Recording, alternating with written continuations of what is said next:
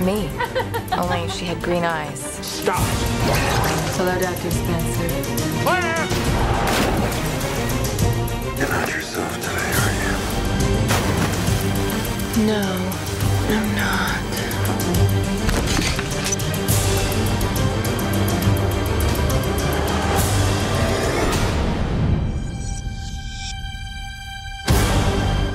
Welcome back to the 11th annual Halloween special. I hope you guys are having a great time. I certainly am, and I'm really excited to talk to you guys tonight about What Lies Beneath, a 2000 horror thriller directed by Robert Zemeckis. The film stars Harrison Ford and Michelle Pfeiffer, and it's about a wife of a university research scientist who believes that her lakeside Vermont home is haunted by a ghost, or that she's losing her mind. My second favorite piece of trivia about What Lies Beneath, I'll tell you my number one in just a second, is that this film was shot while Tom Hanks lost weight for Castaway. Because the first half of Castaway takes place while he's learning about the island, and then there's that massive cut where it's four years later, and Tom Hanks really did lose all that weight for the role. So while he worked on his diet, Robert Zemeckis decided to shoot an entire film. But my favorite piece of trivia about What Lies Beneath is that it was written by Clark Gregg. Yeah, that Clark Gregg. He wrote this, Choke, and Trust Me. I honestly didn't know he wrote. I'm kind of embarrassed. When I read his name in the credits, I was like, no, it's impossible. It's got to be like some random other guy with the exact same name, but it really is him. And the film was very successful. The budget was $100 million, and just in the States alone, it grossed 155, but 291 worldwide. Despite all of that success, the film received fairly mixed reviews and over the years is not talked about that much, and I have found that discussion around the film has tapered off with each year. And the only reason I noticed that is because I love this movie. I have for many years, and so I'm kind of paying attention more than most, and I just don't see people talking about what lies beneath, and I can understand why. It is by no means a masterpiece. I think about 10 to 15 minutes of the movie could be lifted. In fact, I've analyzed the film so much that in my head I've got my own cut of the movie that I think would really make it perfect, and I'll talk a little bit about that later. If you want to call this movie an imitation of Hitchcock, that's fine. It's one of my favorite versions of that. And Zemeckis has been very upfront about the fact that the goal was to make a Hitchcock movie, but with the technology of the year 2000 that Hitchcock never had access to. And despite some baggage mostly in the center of the film and a lot of red herrings and scenes that maybe don't have to be there, this movie is very suspenseful and features some of the best camera work of Robert Zemeckis' entire career. Now keep in mind, I said camera work, okay? That's all I'm talking about, because I know that not everybody likes this movie. This film is shot so remarkably well that there are entire chunks of this movie where I am so mesmerized that I kind of forget to breathe. To talk about some of those sequences, I will be discussing some spoilers. If you've never seen the movie, that's your warning. Let's talk first about the casting Michelle Pfeiffer and Harrison Ford. If you guys have seen the movie, you know where things go. This is really good casting. Not only are both of them famous for playing characters that wield whips, I don't know where I was going with that. Michelle Pfeiffer is fantastic in the movie for many reasons, but in particular because the character on the page is not all that great. She's defined by a car accident in the past that we don't know that much about, and her present day paranoia that won't go away and keeps increasing. Despite those limitations of a character, Michelle Pfeiffer makes her endlessly fascinating by how good she is in every single scene, and you believe all of the trauma that she's bringing to this movie. But the real expert casting is in Harrison Ford, because of course, he's one of the most likable and bankable stars ever.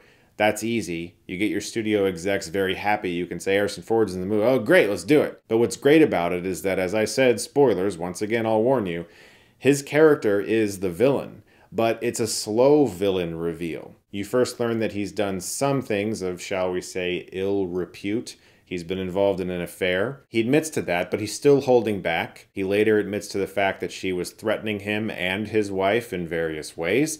A little more has come to the surface, and every single time that he's admitting to these deeds, we want to believe him because it's Harrison Ford. We don't want to think that this guy would do these horrible things. It's one of the reasons I love movies like Collateral because you just don't see Tom Cruise playing a villain and you just don't see Harrison Ford doing it either. And because we love this guy so much, not just as an on screen persona, but because Robert Zemeckis and Clark Gregg have done such a good job of building up a realistic marriage where they really do seem like they're in love. You just don't want him to be the guy, but he is. And that's expert casting. But back to that camera work, what Zemeckis has done here with very long takes is a real joy for me to behold because you get to watch these actors act. They exist in a space and we understand that space, but not just that, there's very complicated blocking when it comes to looking at very specific things that Zemeckis wants us to be paying attention to. There's a sequence in the movie where we follow Michelle Pfeiffer towards a bathroom and then she looks at the phone and thinks about dialing the police, but then we look upwards towards a mirror and we see other things that we need to see, and it's so well constructed that it truly is staggering. He also lets his actors have very real moments together. There's a part in this movie where Harrison Ford is woken up in the middle of the night by his wife who believes that she just saw something very concerning next door at the neighbor's house. And his reaction is peak husband just got woken up at 3 a.m. by his wife for nothing. I, th- I, th- I thought I saw. I. What? Thought I saw Oh, something. Jesus Christ. Like that is exactly the reaction to, oh my God, I am up right now and I don't have to be. I just want to go back to bed. Why'd you do this? What's also interesting about the film's structure is that they found a way to make most of the first act be based around what eventually becomes a red herring, except not. Because for the beginning of the movie, she is suspecting that her next door neighbor has done something awful to his wife. It's very rear window, as this movie, once again, pays a lot of homage to Hitchcock films. Eventually, we discover that, that is not the case. This guy is not the villain. In fact, Robert Zemeckis, in a very telling shot, literally pans away from him, establishing our focus on who becomes the primary villain. The reason I love what the screenplay has done, though, with this structure is that yes, technically our focus is no longer on this couple. Nothing really is going on there. But everything that we were learning while she was investigating that couple still factors in to the rest of the mystery. And so they found a way to misdirect our attention elsewhere to wonder if something was going on next door, while still telling us imperative information about the central mystery that eventually develops. It is really good writing. There's also a scene with actress Wendy Crewson, who interestingly just played the First Lady in Air Force One with Harrison Ford three years prior to this. And in this scene, during this double date, the men start talking to each other and the women start talking to each other all at the same time at this table, and the camera just stays on them for this entire conversation. I can only imagine a lot of rehearsal went into this and the actors really nailed this, but it's also incredibly realistic. You don't see that a lot in movies because it happens all the time. If you've ever been out with friends, you sort of start focusing on one person who's at a table and you're talking with them and other people are talking next to you, and that doesn't really get communicated that much in movies because it's very hard to do. You've got to mix all that audio in post, which is tough. You got to choose who you're hearing more over the other, and the actors have to be able to focus on the other person, and it just feels so real. I know I'm talking about this specific scene that for most might feel throwaway, but it's not.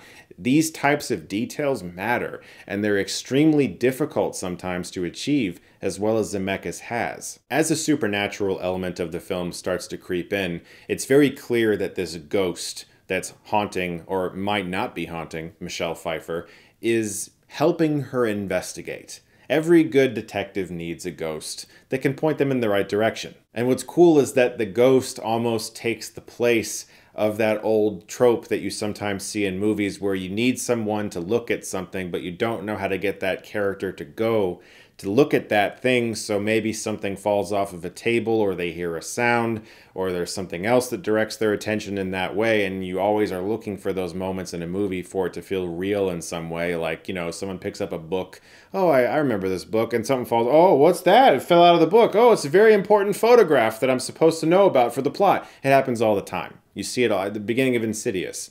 There's a scene like that with Rose Byrne when she's looking through her photo album. The fact that this movie uses the ghost as a way to get Michelle Pfeiffer to look at things that we need to know is kind of ingenious. Now, I want to talk about this film's third act because I really do think that technically it is masterful. the immobilization sequence where Michelle Pfeiffer is given this drug that limits her movement is truly one of the more suspenseful sequences I've ever seen. She's thrown into a bathtub and the water is slowly running and she cannot move. And as it creeps further and further towards her nose, the tension is at an all time high. All the while, you've got Harrison Ford over there telling her all these horrific things that are like sociopathic because he's been amazing at making himself look like a victim this whole time. Like he didn't really do anything wrong and it was all for her. But now he's just petting his dog while he slowly kills his wife. And throughout this sequence, Zemeckis does so many incredible things with the camera, like this shot where we seemingly disappear into the floor. And watching the movie, I can only assume that this was probably like a glass floor with some sort of entryway for the camera to dip underneath and then they CGI'd the floor. Really innovative camera work like this continues for the rest of the movie. When she flees into her car and the side mirror reveals Harrison Ford's shadow getting up and then her continuing to run away. Or this shot where we're outside of the truck and then we're in it on the wheel spinning. Some of these shots are brain melting. Obviously some CG transitions are occurring, but they're really seamless for a 23 year old movie. There are whole sequences in this movie where I kind of just forget that I'm watching a film and I remain in awe at how well edited and shot it is, and the score by Alan Silvestri as well, which feels very Bernard Herrmann esque. Some people had a problem with the idea of the ghost sort of manifesting itself and helping her at the end of the movie, but I feel like those people just don't watch horror movies. That's like the, the lowest shocking thing I've ever seen. It's like, I, of course, a ghost would help. I've seen that before. It's not that weird. Like, I don't know. Like, it felt like people were like, whoa, whoa, whoa, whoa, whoa, whoa, whoa. You just broke the rules of a thriller or something. I'm like, guys, have you ever watched movies? I don't know. But I really do think this movie is criminally underrated. I think it's a bit too long. I think that every therapist scene, as much as I like the actor Joe Morton, I think every therapist scene can go.